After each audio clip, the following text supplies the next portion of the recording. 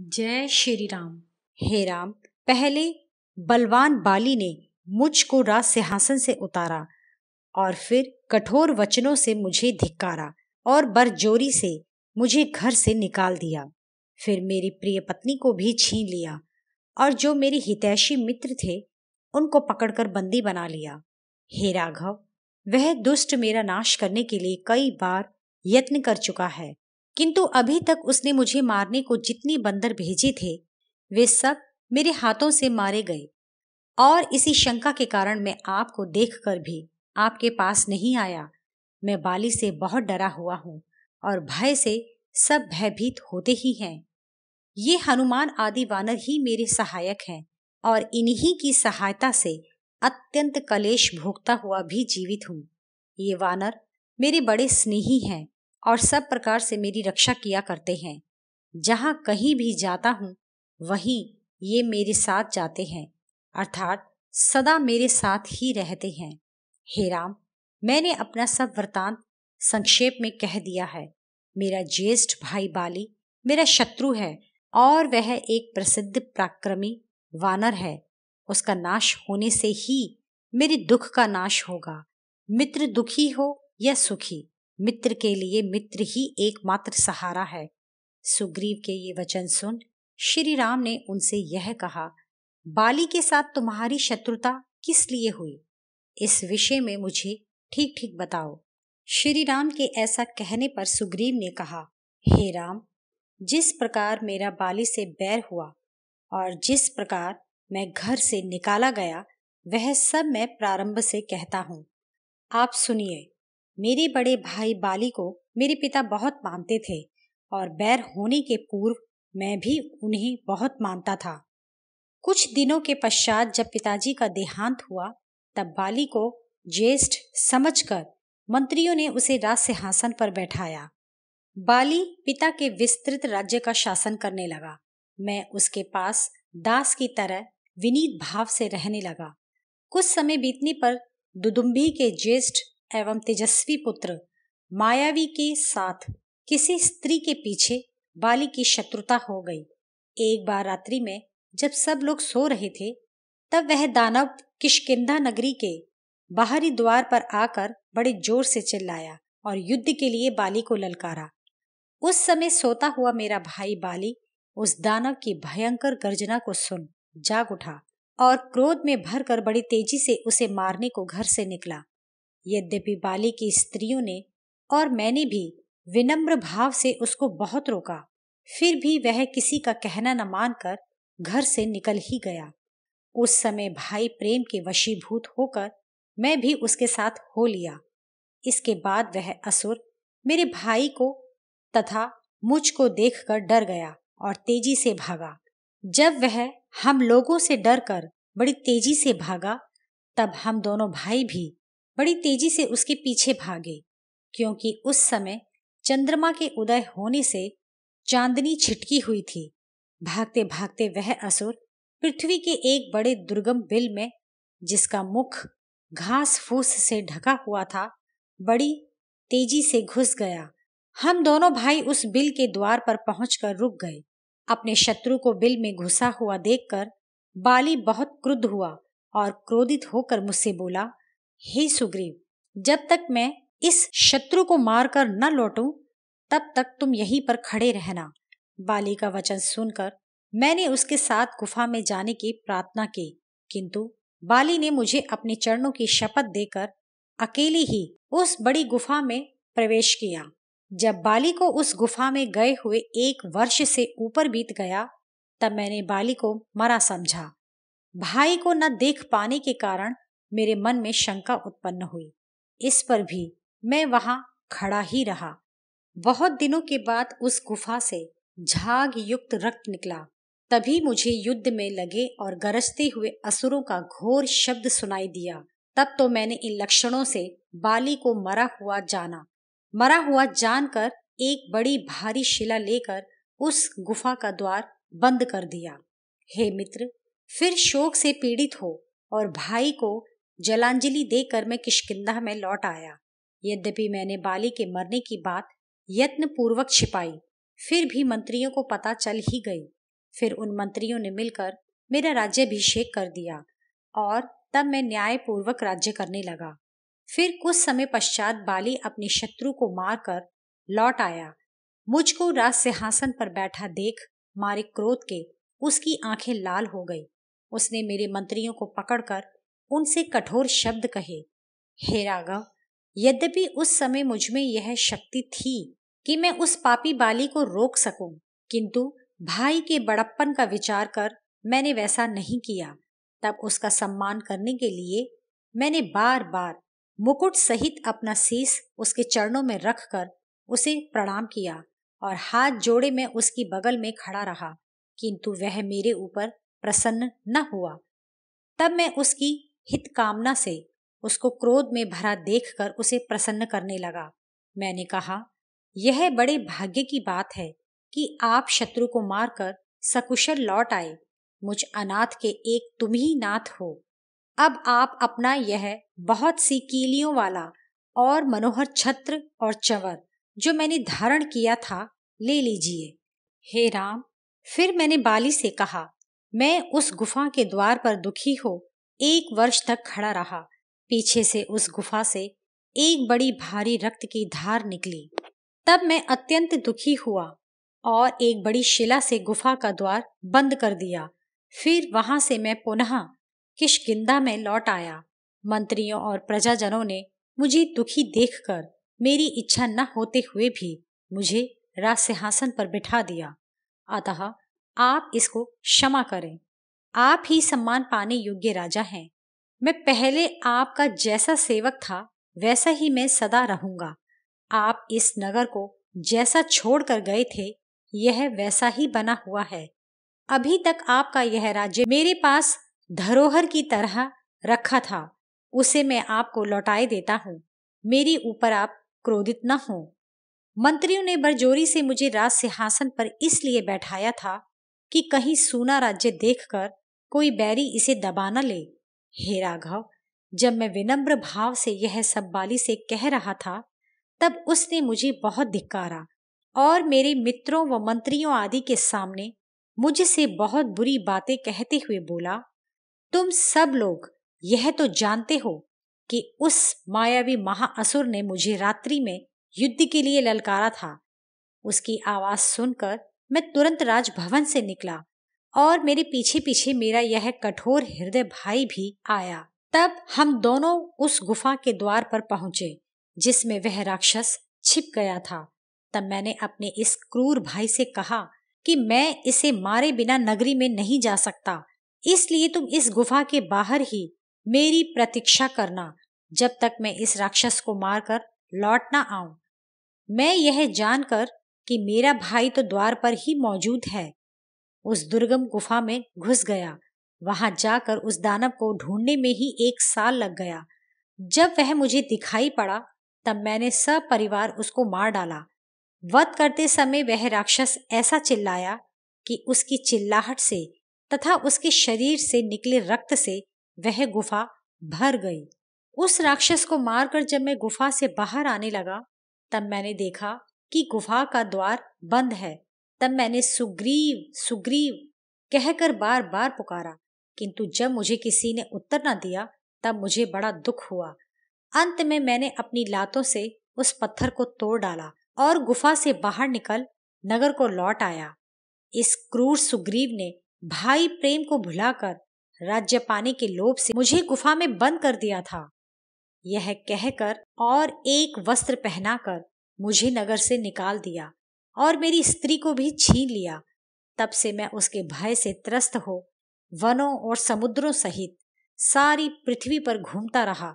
फिर दुखी होकर मैं इस ऋष्यमुख पर्वत पर चला आया, क्योंकि कुछ कारणों से बाली इस पर्वत पर नहीं आ सकता।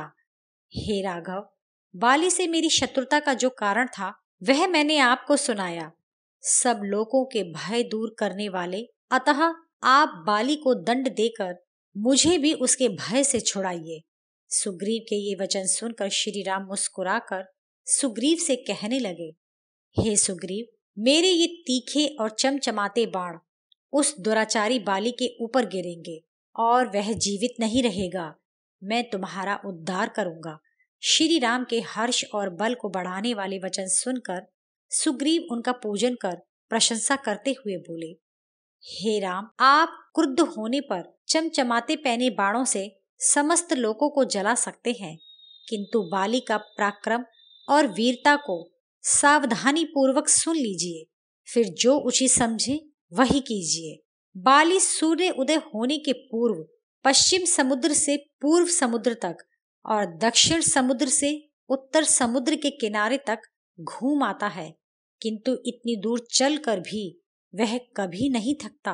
वह पराक्रमी बाली पर्वतों पर चढ़ उनके बड़े बड़े शिखरों को गेंद की तरह उछाल कर हाथ में लपक लेता है। वनों के बड़े बड़े वृक्षों को उखाड़कर फेंक देता है। कैलाश पर्वत के शिखर के समान विशाल काय दुदम्बी नामक पराक्रमी भैंसा अपने शरीर में एक हज़ार हाथियों का बल रखता था। वह अपने शारीरिक बल और वरदान के घमंड से मतवाला हो दुदुम्बी समुद्र के निकट गया। वह समुद्र की लहरों को रोककर समुद्र से बोला कि मुझसे युद्ध करो। हे राजन, तब समुद्र ने उठकर उस दानव से कहा कि मुझमें इतनी सामर्थ्य नहीं, मैं तेरे साथ लड़ सकूँ, किंतु मैं तुझे उसके विषय में बताता हूँ जो तुझसे युद्ध कर सकता है। सुन, तपस्वियों की आश्रय स्थल और भगवान शंकर के ससुर, जो हिमवान नाम से प्रसिद्ध हैं, तू उनके निकट जा। वह तुझसे लड़ सकते हैं। तब वह दानव समुद्र को अपने से भयभीत हुआ जान, बड़े वेग से सीधा हिमालय के वन में पहुँचा और उस पर्वत की और उस पर्वत की बर्फ़ से ढकी होने के कारण सफ़ेद और हाथी की तरह विशाल शिलाओं को उखाड़ उखाड़ कर भूमि पर पटक पड़े ज़ोर से गरजा तब सफ़ेद बादल की तरह सुंदर और मनोहर आकार धारण कर हिमालय अपने एक शिखर पर खड़े होकर दुदुम्बी से बोला, हे दुदुम्बे, मुझे कष्ट देना उचित नहीं है, क्योंकि मैं तो रण कौशल में कुशल नहीं हूँ। मैं तो तपस्वियों का आश्रय स्थल मात्र हूँ। हिमवान के ये वचन सुनकर दुदुम्बी क्रोध से बोला, यदि तुम मुझसे युद्ध करने में असमर्थ हो तो तुम बतलाओ, मुझसे युद्ध करने योग्य कौन है? तब चतुर हिमवान ने कहा अतुलित प्रभाव वाली किशकिंदा नगरी में बड़ा बुद्धिमान प्रतापी और इंद्र के समान पराक्रमी बाली नाम का एक वानर रहता है। वह तुमसे युद्ध कर सकता है। यदि तुमको युद्ध करने की अभिलाषा है तो तुम शीघ्र उसके पास जाओ, क्योंकि वह युद्ध क्षेत्र में बड़ा शूरवीर है और उसे कोई भी परास्त नहीं कर सकता। हेमवान के ये वचन सुन दुदुम्बी क्रोध में भरकर अति शीघ्रता पूर्वक बाली की किशकिंदा नगरी में जा पहुँचा। नगरी के द्वार पर पहुंचकर वह महाबली, दुदुम्बी, भयंकर शोर करता हुआ अभिमान में भरकर द्वार पर लगे पेड़ों को उखाड़ने लगा और अपने खुरों और सींगों से भूमि को खोदने लगा। अपने भवन में बैठा हुआ बाली उसके शब्द को सुनकर सब स्त्रियों सहित बाहर चला आया और दुदुम्बी से बोला, कि तू क्यों द्वार को नष्ट करता हुआ गरज रहा है? हे दुदुम्बी, मैं तुझे जानता हूँ, तू अपने प्राण बचा। बाली के ये वचन सुन दुदुम्बी लाल लाल आँखें कर बाली से बोला, हे वीर, स्त्रियों के समीप खड़े होकर तुझे ऐसी बातें नहीं कहनी चाहिए। आज मेरे साथ युद्ध कर, तब मुझे भी पता चल जाएगा कि तुझ में कितना बल है। यदि तू अभी युद्ध नहीं करना चाहता तो कोई बात नहीं, मैं आज अपने क्रोध को रोक लेता हूँ। कल सवेरे युद्ध होगा। हे वानर, आज की रात तुम और सुख भोग लो। जो कुछ तुम्हें दान पुण्य करना हो, सो वह भी कर लो, और जिन वानरों व इष्ट मित्रों से भेंट करनी है, वह भी कर लो, और अपनी किशकिंदा नगरी को भली भांति देख लो, और अपने सामान किसी योग्य वानर को यह राज्य सौंप दो, क्योंकि मैं तुम्हारा अहंकार दूर कर तुमको मार डालूँगा। उस असुर के वचन सुनकर बाली ने क्रोध में भरकर अपनी समस्त स्त्रियों को विदा किया और मुस्कुराकर धीरे धीरे दुदुम्बी से कहा, हे वीर, तू मुझे मतवाला मत जान। ऐसा कहकर बाली युद्ध के लिए तैयार हुआ। तब बाली ने उस पहाड़ जैसे आकार के दुदुम्बी के दोनों सींग पकड़कर उसे दूर फेंक दिया। दुदुम्बी को गिराकर बाली सिंह की भांति घोर गर्जना करने लगा। बाली ने उसे ऐसी ज़ोर से पटका कि उसके कानों से रक्त बहने लगा। तब सदैव जीतने की इच्छा रखने वाले और क्रोध में भरे हुए बाली और दुदुम्बी का घोर युद्ध होने लगा। इंद्रतुल्य पराक्रमी बाली लात घूसों जांगों शिलाओं और वृक्षों से युद्ध करने लगा। वानर और असुर की इस युद्ध में बाली का बल बढ़ने लगा और असुर दुदम्बी का बल क्षीण होने लगा। जब दुदुम्बी का साहस, बल, धैर्य और पराक्रम धीमा पड़ गया, तब बाली ने उठाकर उसे ज़मीन पर पटक दिया। ज़मीन पर गिरकर दुदुम्बी मर गया। तब बलवान बाली ने उस मृत दुदुम्बी को उठाकर एक योजन की दूरी तक फेंक दिया। बाली ने जब उसे बड़े ज़ोर से फेंका, तब उसके मुख से टपकता हुआ रक्त वायु की झोंकों से उड़कर महर्षि मतंग के आश्रम में जा गिरा। मुनि रक्त की बूंदों को देखकर अत्यंत क्रोधित हुए और कुछ देर तक वे सोचते रहे कि किस दुष्ट ने मेरे ऊपर रक्त का छिड़काव किया है? वह कौन दुरात्मा, नीच और मूर्ख है? इस प्रकार सोचते हुए ज्यों ही मुनि आश्रम से निकले, त्यों ही उन्हें एक पर्वत के आकार का भैंसा ज़मीन पर मरा हुआ दिखाई पड़ा। तब तो मतंग मुनि ने तपोवल से जान लिया कि यह सारी करतूत बाली की है। अतः यह जान उन्होंने भैंसा फेंकने वाले बाली को शाप दे दिया। मेरे आश्रम को जिसने रक्त की बूंदों से तर कर दूषित कर दिया है, वह इस आश्रम में नहीं आ पाएगा। इस असुर की मृत देह फेंक कर, जिसने मेरे आश्रम के वृक्ष तोड़े हैं, वह यदि मेरे आश्रम में घुसा या इस आश्रम के चार कोस के घेरे के भीतर वह दुष्ट बुद्धि आया तो भी वह निश्चय ही मर जाएगा। उसके मित्र या मंत्री कोई भी जो मेरे वन में वास करते हैं, अब वे यहाँ नहीं रहेंगे। यदि वे यहाँ रहेंगे तो उन्हें भी मैं अवश्य शाप दे दूँगा। अतः मेरी इस शाप को सुन उन्हें दूसरे स्थान पर चले जाना चाहिए, क्योंकि मैं इस वन का पालन सदा पुत्र की भांति किया करता हूँ। आज के दिन तक मेरे शाप की मर्यादा है। सवेरा होते ही बाली की ओर के जिस किसी भी वानर को यहाँ देखूँगा तो उसे हज़ारों वर्ष तक पत्थर का होकर रहना पड़ेगा। उस वन में रहने वाले सभी वानर मुनि के यह वचन सुन बाली के पास पहुँचे। तब बाली बोला, हे मतंगवासी वानरों, तुम सब के सब क्यों कर मेरे पास आए हो? सब वानर प्रसन्न तो हैं? उन सब वानरों ने बाली से सारा वृतांत कहा और यह भी कहा कि आपको भी मतंग मुनि ने शाप दिया है। उन वानरों के वचन सुनकर बाली महर्षि मतंग के पास गया और हाथ जोड़कर उन्हें प्रसन्न करने लगा। परंतु महर्षि ने बाली की बातों पर कोई ध्यान नहीं दिया और उठकर अपने आश्रम के भीतर चले गए। हे राम, तब से शाप के भय से बाली ऋष्यमुख पर्वत पर कभी नहीं आता। यहाँ तक कि इस पर्वत की ओर देखता भी नहीं है। बाली का इस वन में आना वर्जित है। यह बात जानकर ही मैं मंत्रियों सहित इस वन में बिना भय के वास करता हूँ। देखिए यही उस दुदुम्बी की हड्डियों का पहाड़ के समान ढेर लगा है, जिसको बाली ने अपने पराक्रम से उठाकर यहाँ फेंका था। हे राम, मैंने यह बाली के बल का पराक्रम का वर्णन किया है। सो अब आप निश्चित करें कि बाली को युद्ध में किस प्रकार मार सकेंगे। तब हँसते हुए लक्ष्मण ने सुग्रीव से कहा, कि श्री राम जी, ऐसा कौन सा काम करके तुमको दिखाएँ, जिससे उनके द्वारा बाली के मारे जाने का तुमको विश्वास हो? यह सुन सुग्रीव बोले, कि ये सात साल के वृक्ष जो सामने दिखाई पड़ते हैं, इनमें से एक एक को बाली अपने पराक्रम से हिलाकर बिना पत्ते का कर सकता है। श्री राम जी भी यदि एक ही बाण से इनमें से एक भी साल के वृक्ष को काट डालें तो मैं इनका पराक्रम देख बाली को मरा हुआ समझूँगा। मृत दुदुम्बी की हड्डियों के ढेर को एक पैर से यदि श्री श्रीराम 200 धनुष की दूरी पर फेंक दें तो मैं बाली को मरा समझूं।